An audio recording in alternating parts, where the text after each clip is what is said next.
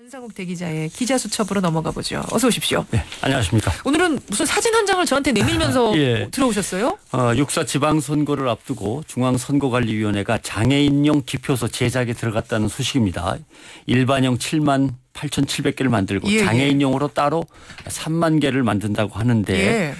근데 장애인 기표소의 그 예상되는 모습 모형도가 나왔는데 보니까 장애인한테 적합하지 않다라는 지적이 많습니다. 오늘 좀 사진을 보면서 설명을 드리겠습니다. 저한테 내미신 사진이 바로 이 사진이군요. 네. 이걸 어떻게 여러분들한테 설명드릴까요? 이제 휠체어나 전동 모터 스쿠터를 타고 장애인이 들어가서 정지를 하면 예. 보시는 대로 기표소가 뭐 앞, 앞에 있는 게 아니라 오른쪽에 조금 있죠. 들어가서 이제 앞을 보고 서 있으면 기표소는 오른쪽에 예. 오른쪽으로 90도 방향에 있습니다. 그렇죠. 거기에 이제 놓여 있는데 그러니까 장애인이 휠체어를 타고 앉은 채로 상체를 90도 완전히 비틀어야만 기표가 가능합니다. 예, 예. 뭐 비장애인이면 몸을 이렇게 좀 트는 것은 불편하더라도 잠깐 수월합니다마는 또 왼손잡이라 하더라도 잠깐 오른손을 쓰면 되는 거지만 장애인은 장애 정도에 따라서 힘겹게 온몸을 비틀다가 마비가 올 수도 있는 거고 아. 오른팔에 큰 장애가 있다면 중증 장애인이면 이용이 불가능할 수도 있습니다. 그런 얘기가 지금 장애인들 사이에서 나오는 나오고 있는 건가요? 거죠. 정말 투표장에서 이렇게 요가 하듯이 온몸을 비틀어서 고통스럽게 투표를 하고 나와야 되는 것인가 하는 음. 문제가 제기되고 있고요. 그렇군요. 어, 기표대에 들어서는데 활동 보조인의 도움을 받아야만 한다면 사진에 예. 보시면 거기에 도와준 사람이 함께 들어갈 수 있는 공간 면적이 안 나오죠. 안, 나, 안 되네요. 예, 휠체어 한 대가 딱 들어갈 수 있도록 돼 있습니다. 예, 예. 활동 보조인이 함께 들어가서 도와줘야 된다면 그 사람이 들어가 활동할 수 있을 만큼의 넓이가 확보돼야 되는 거죠. 아하. 왜 이렇게 좁게 만들었는지 잘 모르겠습니다. 그렇다고 뭐 선거 날 투표장에 가보면 공간이 없어서 뭐 이렇게 비좁은 것도 아닌데. 그 정도는 예. 아닌데. 그러니까 기표소가 장애의 유형과 장애의 정도를 고려하지 않고 그냥 일반적으로 늘 하던 대로 그 크기의 그 모습대로 만든 거죠. 세심한 주의가 부족했다. 네. 이런 결론인 거군요. 일반형 장애인용 두 가지로 만드는 건 좋은데 기표소가 동일한 규격이거나 예. 동일한 형태라면 곤란한 거죠. 기표대 높이도 조금 높다 이런 얘기 나오더라고요. 기표대 높이를 좀 낮추면 말이죠. 비장애인들은 허리를 좀 구부리고 얼른 찍고 나오면 되니까 그렇게 큰 불편하지 않습니다. 예, 예. 근데 대개 휠체어를 이용하거나 키가 작은 장애인들은 기표대의 높이가 높아서 문제인 거죠. 음. 그래서 기표대 높이 자체를 확 낮추면 장애인 비장애인이 하나의 기표대를 공동으로 써- 쓸 수도 있고 아, 아니면 장애인 기표대의 높이를 1단, 2단 이렇게 간단히 조절할 수 있도록 두 가지로만 해줘도 예, 예. 옆에서 선거관리위원회 위원이나 봉사자가 서비스해주면 간단하게 해결할 수. 있는 문제거든요. 예. 이런 배려가 없습니다. 선진국 같으면 기표대 높이를 낮게 잡고 폭을 넓게 잡아서 음. 중증의 특수장애가 있다 하더라도 장애인이 혼자서 이용할 수 있도록 배려를 하고 있는데 우리가 이게 잘 안 되는 거죠. 보면 투표소 밖에다 간이 기표소를 설치하기도 했었잖아요. 과거에는. 그러니까 예를 들어 계단이 있다거나 또 턱이 있어서 하- 턱이 한 뼘만 돼도 휠체어 장애인들은 정말 못 어렵습니다. 올라가죠. 예. 그러니까 결국 투표소 밖에 간이 기표소를 만들어서 여기서 투표하고 가십시오. 이렇게 서비스를 제공하기도 합니다.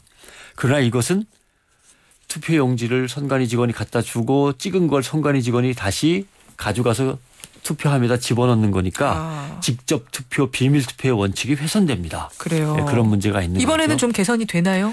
이번에 어떻게 준비가 돼 있는지 이 부분에 대해서 저희가 파악이 잘 안 됩니다. 일단은 예. 장애인용 기표소의 설계도가 나온 것만 보고도 야 저래 예, 갖고는 예. 안 되겠다라고 해서 지금 문제가 제기되고 있는 거고요. 그렇군요. 지난번 선거들 보면 일단 선관위 직원들이나 거기 참관하고 있는 사람들이 자원봉사자도 마찬가지고 예, 예. 장애인이 와서 투표를 하려고 할 때 어떻게 응해야 되는지를 전혀 몰라요.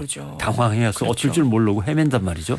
사전 교육도 좀 철저히 해야 될 그런 상황입니다. 그나저나 시각장애인이나 지체장애인들은 뭐 어, 그 어떻게 해야 되는지가 그래도 설명이 좀 나온 것 같은데 청각 장애인의 경우는 아예 설명도 없어요. 지금 준비가 어떻게 되고 있는지 이것도 다시 확인을 해야 됩니다만은 올해 초에 분명히 선거관리위원회는 지방선거 텔레비전 광고를 청각 장애인이 아주 쉽게 이해할 수 있도록 수화 통역 화면을 함께 송출하겠다고 했거든요. 예, 예.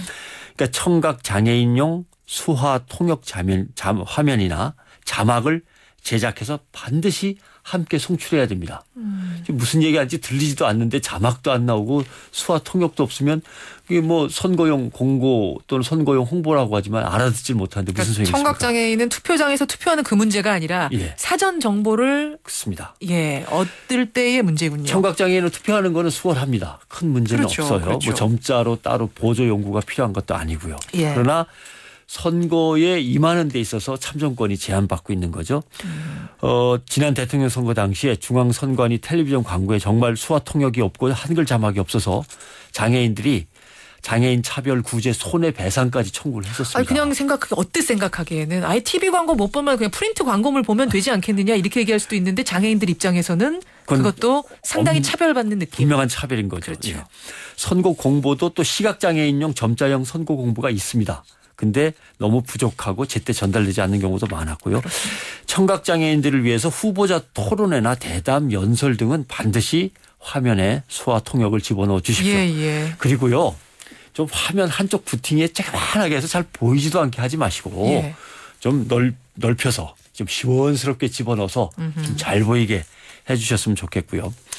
그러니까요. 장애인의 참정권을 지키고 개선하는 것은 선거관리위원회의 아주 고유한 책무입니다. 그렇죠. 잘 모르면 장애인한테 물어보고 임시로 만들어 본 다음에 각 유형별 장애를 갖고 계신 분들 대표를 불러서 예, 예. 시뮬레이션을 한번 해보고 하면 아주 간단하게 해결될 수 있는 문제인데 예. 이 장애 이웃에 대한 의식 자체가 부족하니까 공직사회가 이런 일이 자꾸 벌어지는 그러니까 거죠. 이번에도 3만 명, 3만 개의 기표소 만들겠다 잘 한 건데 예. 이왕이면 조금 더 소통해서 미진한 것 없게 만들었으면 얼마나 좋았을까. 그렇습니다. 근데 이렇게 접근하고 기표를 하기가 구조적으로 어렵게 만들어 놓고 막상 투표 당일 현장에 가서 투표를 어떻게든 해서 참정권을 행사하려는 장애인들이 이렇게 저렇게 애를 쓰면 자 선관위원들이나 주변 사람들이 아이 너무 유난 떠는 거 아니야? 아, 되게 성가시네 이렇게 장애인들한테 또 손가락질을 하는 거예요. 아, 그럼 장애인들은 설마 그럴, 그럴까요? 장애인들은 정말 몇 번 억울해지는 겁니다. 이거 뭐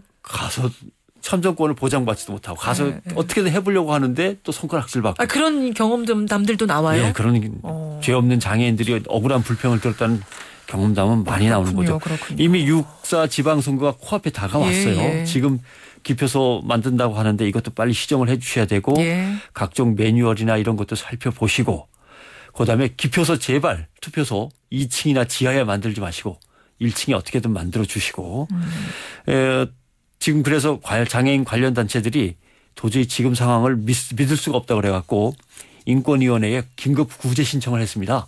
장애인들이 이번 6월 지방선거에서 제대로 투표할 수 있는지 예. 확인해 달라고 그래요. 아무튼 장애인 차별금지법 27조는 분명히 장애인이 참정권을 행사하는데 차별해서는 안 된다. 이를 보장하기 위해서 필요한 시설과 설비, 홍보 용품 여러 가지를 갖다 반드시 마련해야 된다고 규정하고 있습니다. 그래요. 지켜주십시오. 지켜주십시오. 우리 청취자의 편지도 한 통 오늘 온 게 있어서 제가 마침 오늘 장애인 이야기니까 소개를 하죠. 군산시 수송동에서 유승열 씨 1급 시각장애인이라고 하면서 아, 편지를 저한테 보내주셨어요. 뉴스쇼 앞으로. 금융 CD기 ATM기 말씀하시는 네. 거죠. 시각장애인이 편하게 사용할 수 있도록 좀 해주셨으면 좋겠고 그걸 사용하는 방법을 또 몰라서 많은 분들이 사용 못 하신대요. 예. 그것도 좀 학교에서 교육해 주셨으면 좋겠다. 이런 편지를 보내주셨습니다. 예, 이승열 씨 고맙습니다. 오늘 장애인에 대해서 장애인 참정권에 대해서 생각해 봤습니다. 벤성대 기자 수고하셨습니다. 고맙습니다.